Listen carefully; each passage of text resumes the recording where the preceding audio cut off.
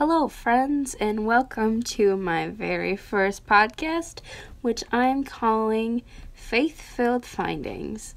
Uh, today, I'm going to be talking about promoting peace and how, as a believer, um, we are called to be peacemakers.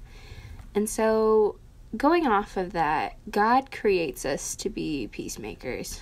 Even in Matthew 5 with the Beatitudes. It says that, like, blessed are the peacemakers, for they will be called children of God.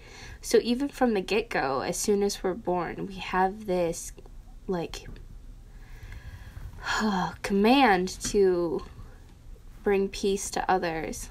Um, when I was talking with my roommate, she gave me this really interesting analogy that, in a way, life and peace are kind of like a puzzle and when you have different conflicts it's like these pieces of your puzzle are missing.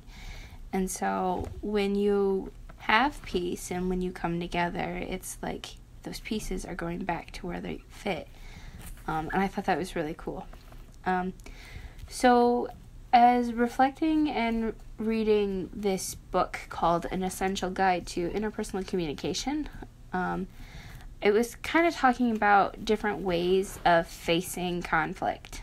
Um, and one of them that it was talking about avoiding was confrontation, which for me isn't really an issue.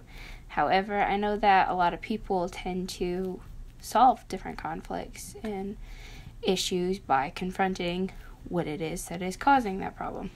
Um, personally, it's not my style. I do find joy in restoring different conflicts. However, um, it's not everyone's style. Um, but also in the book, it talks about how when we share peace and when we kind of bring shalom, um, we have to humble ourselves.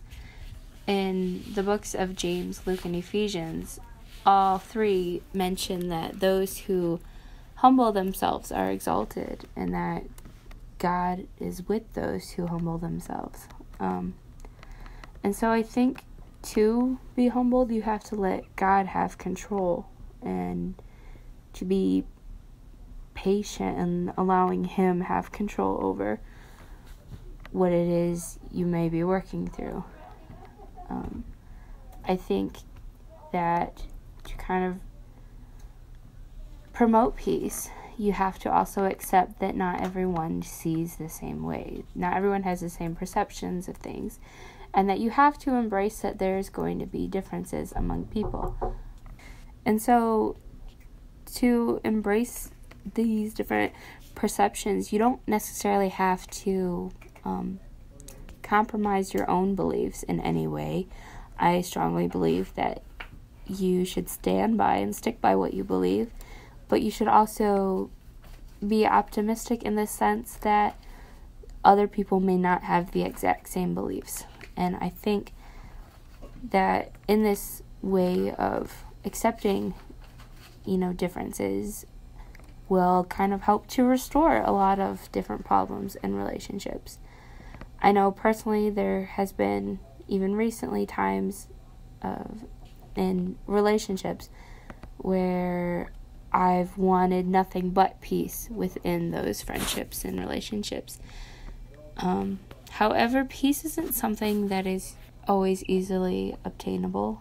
Um, I think as Christians, we strive to search for and obtain peace, but it's it's not always easy because we think that we can find peace within ourselves and within others. However, we're totally forgetting that to find and experience peace, we have to go to God and we have to let God move us to a place of peace. And we even have to go through struggles and conflicts that will make us feel anything but tranquil. It'll make us feel on edge and maybe even angry or saddened and depressed. But we have to remember that as a Christian, we have to go to God. If we don't go to God, we won't ever find real peace. One thing that really stood out to me in this book written by Schultze and Badzinski is the section that talks about how interpersonal conflicts affect our credibility as followers of Christ and how we deal with conflicts can reflect not only our own personalities, but it reflects our Savior. And as Christians, how we act is supposed to reflect what we believe in. And I thought it was quite interesting. Um, it talks about that conflicts are an opportunity for God's glory to be revealed in our lives. And I think that's really cool. And I definitely agree. I think that through conflicts, we can kind of show not only who we are, but who God and Jesus are through us. Um, I think a lot of conflicts recently come through um, like social media. You can't go on any social media without there being a negative post.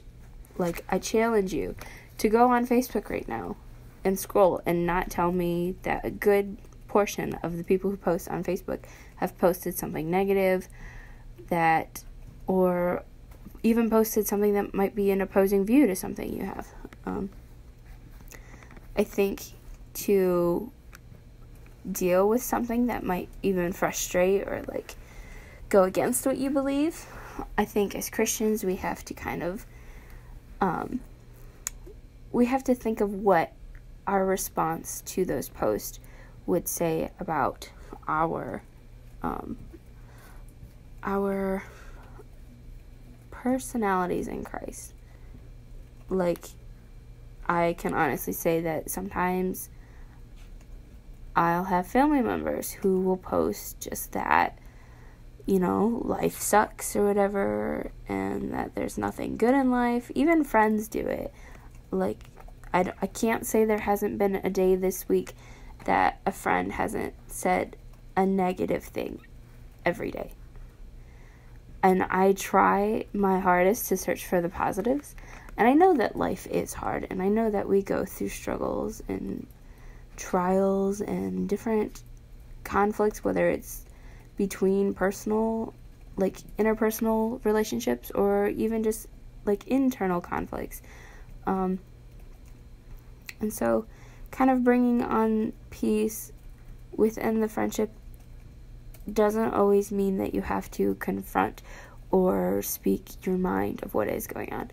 I think bringing peace shows that you are there and you are present, but also that you understand. I think to have to feel peace is also to feel that you're not alone.